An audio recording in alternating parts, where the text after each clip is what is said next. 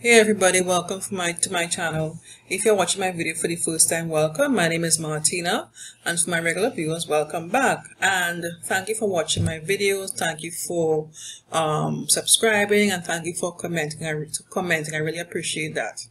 Okay, today I want to show you um, how to prepare, how to create your adult coloring book using Google Slides. Now I did a video before um, uh, how to prepare the adult coloring books using PowerPoint 2007. That's what I've been using. And I got this question. I've been getting questions about how um, about the Google Slides and I've never used it before. So I said, you know, I really need to, to work on this. So that's what I'm going to show you today. I'll leave a link for my previous video, how I do it in the PowerPoint presentation. I'll leave a link for that in the description box below and also in the end screen of this particular video. Okay, so let's get cracking with this. Alright, so we're going to um, come up with um, Google Slides. Now, Google Slides is basically similar to PowerPoint in my opinion. So I have my Google screen here, google.com. And we look for this little box uh, area here with a bunch of different boxes. This, uh, this has all the different um, apps as Google, Google has, different Google products. So I just click on this, this option. And um, we're going to click on more and we're going to go to even more from Google. Remember, we're looking for Google Slides, we're looking for that particular app. Now we'll see here we have Google Slides. We just click on Get Started.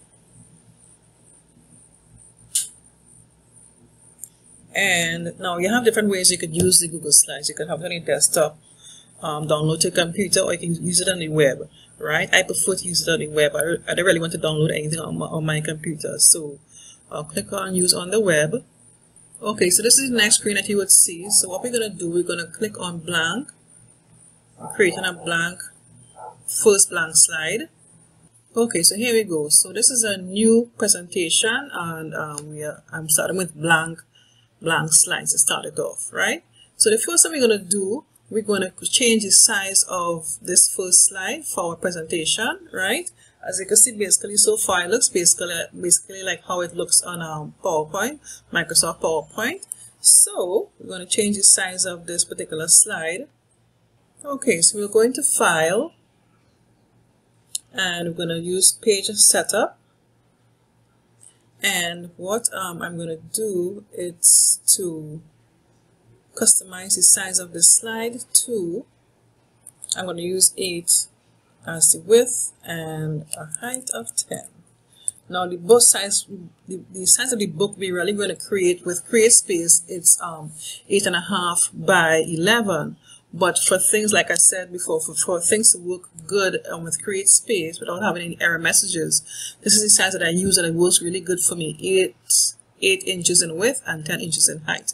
Okay, so next thing I want to, okay, so I want to have a clean slice. I'll just click on this box, press delete, click on that box, press delete. Okay, so now I'm going to save this file. I'll just click on this box here and give it a name.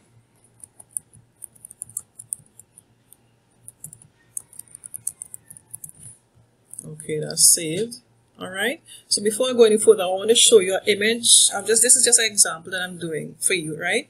So i'm going to show you an image that i'm going to use for this particular test. So let me just click on my image here. So this is my image one of my images that i'm going to use.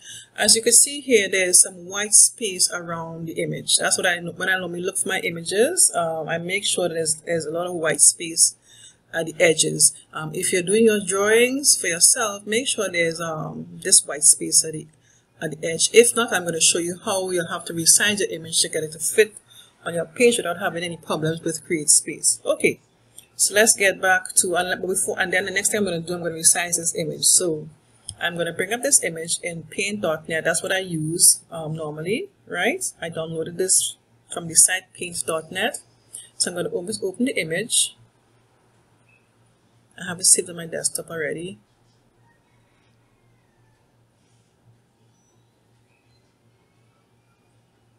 You go. All right, so let's go into image. Let's look at the size of this image. Image size. Okay, you can see here this is the width 7.67 and 9.67. 0.65 in um in height, right? And resolution is 96. Now, this is very important when you're uploading your images to your book with images that the resolution must be um, 300 dpi um, for the least, right? Um, otherwise, you'll get rejections. Um, but what happened is I noticed that um, CreateSpace will still accept your images, but the resolutions would be very poor. Okay, so they at least they warn you, right? So we're going to make the change. The first thing we need to do for this image to fit snug into our slides, right? We're going to change the width to, let's see, it's 8 by 10, sorry. 8 by 10. Now let me just show you this. Somebody asked me about this. Now if you click on maintain um, aspect ratios. If I change this to 8, um, this will automatically change what it thinks it will work out to be. Let me just change it back to 9. I see change here to 11.32. Let me just change it again for you to see. If I change it to 6, it automatically changes the height to 7.55. Now I don't want that. I want to put in my width and height that what I want it to be. So I uncheck here, right? So if I put in the width to be what did I say again? 8. and the height to be 10, I have control. You see that? Okay, so nothing will change unless I change it. Now, that's for the width and the height of the, this, the, the image, okay? Now, the resolution, I'm going to change that to 300, even though down here changes, we're, we're going to get back to that, okay? I'm going to put it at 300 to facilitate our space requirements.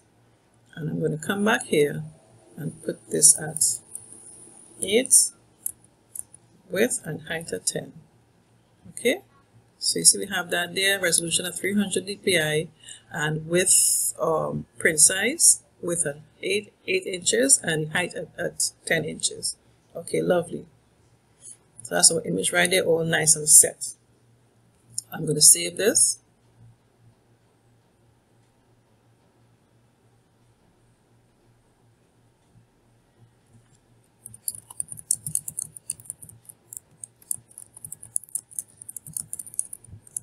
Lovely.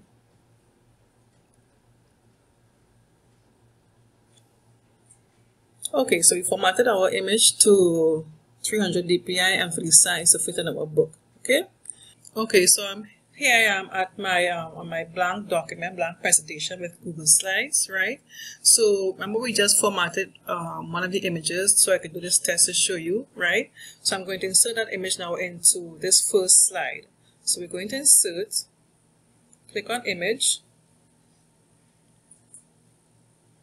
Now since we're using the, the, the um, web version of this particular app, right, we'll have to upload the image to Google Slides. So I'll click on choose an image to upload and then I'm going to search for my image. This is one I just formatted. Okay, as you can see here, my image fits snugly onto my page. Um, my without any without, without I having to make any sort of adjustments, right? Which what I like, and you can see here the space around the image. Um, that blank space is what's required um for um CreateSpace. You don't really want the image to reach the edge of the page, otherwise you'll have problems. Um, I don't really know exactly what I think they call it bleeding or something like that, right? But anyway, try and let the image get to the edge of the page if you if if you do you'll have to make these images. Create um, reduce the size of the image so instead of 8 by 10 make it 7 by 9 so the, the image wouldn't reach the edge here. And when you upload it to CreateSpace everything should look fine. Okay right so that's all so all we need now to just create more pages and add more images so, right? So what I'm gonna do just for make it easy for everything to, for you to understand easily what I will do the next thing to do um, I'll create a blank, instead of blank slide. So we're going to say a new slide. Right, so as you can see here, uh, let me see, I don't really want this, but I'll show what I did for that. Let me just try something else. Let's try next slide. So this is like you want to go from next to previous. Okay, we don't really want that. Okay. Okay, so we have a blank slide after the first slide with the image on it, right? And I'll create another slide. what I will do here, I'll just take off this, click on this, delete that, click on this blank spot, delete that, right? Okay, so what I'll do next now, I'll insert more slides. I'll duplicate this slide, right? So right now I'm on this slide, so I'm going to duplicate this slide, right? So we have three slides here. So what I want to, do what I'm trying to achieve here now, I have a slide with an image, a blank page, and then a slide with another image, right? So what we want to do, we want to have a blank page after each page with an image, right? That's what we're trying to achieve because you don't really want um you don't really want a drawing on one side and then one to the back side because you find that the, the when you're coloring the images it will bleed to the other side sometimes, but it doesn't really look too nice. So I prefer to have one drawing on um one page and that's it, right? So that's what you're gonna achieve here. So just like I said, for easy um easy going for this particular video, I'm going to insert this another image, the same image on this particular page, right? So I'm just going to insert image. Well, let me see. We already have this one uploaded already. Bam. Search. Make it easier. Just going to search. Okay.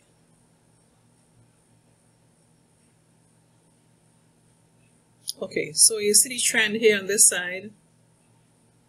What we are trying to achieve, we have a, a slide with an image, a blank slide, and a slide with an image, and you keep on doing that until your book has been completed. Of course, you must have a minimum of 24 pages um, to be able to qualify to upload your book to CreateSpace.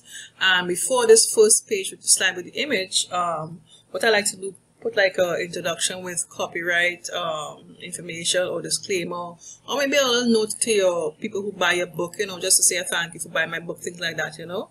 Uh, and then on the last page now what I like to do for my books I like to um to insert a page with um images of my previous my other um with my other books that I may have. Let me just show an example what I've done before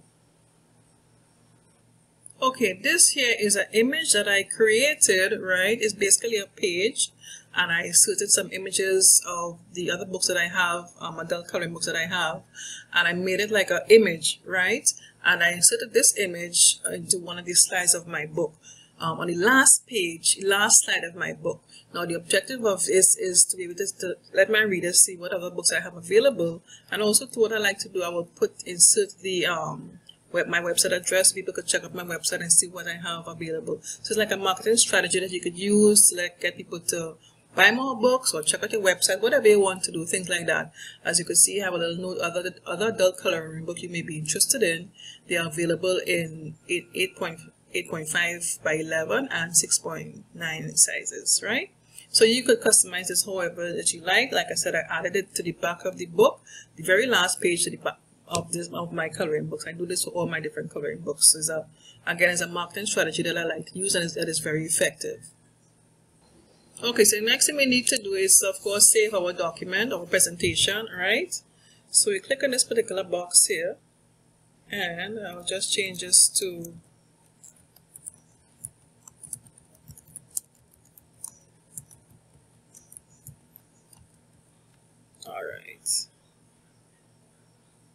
So when you're done your book and it's it's it's ready it's it's it's ready to be uploaded to CreateSpace, you have all the information you need to have, all the images.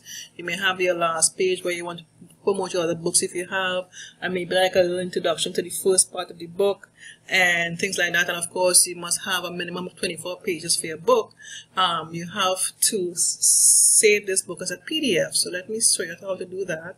I'm going to File, but how um this app does it, you'll have to download it as a PDF, right? So you're going to File, and you're going to download, download as, and download PDF, right? Just click on that, and we'll download your file to your computer as a PDF, right? And that's basically it. So I hope you enjoyed this video and it's very helpful to you guys. Um, if you have any questions, feel free to contact me. I'll try to answer you as as best as I can. And yeah, and don't give up on your project of doing these adult coloring books. I think it's still very popular. Um, I have quite a few books on different um, themes, coloring books, but one in particular is doing very, very well. And the others, um, I never really get much sales, but I haven't given up, you know, but of course I don't really have the encouragement to do much more because um, only one of them in particular is doing very well. But keep on your, on your, on your journey of, um, if you want to publish your adult coloring book and, you know, see what happens, you know, give it a try. All right. Okay. Thanks for watching. Take care. Bye-bye.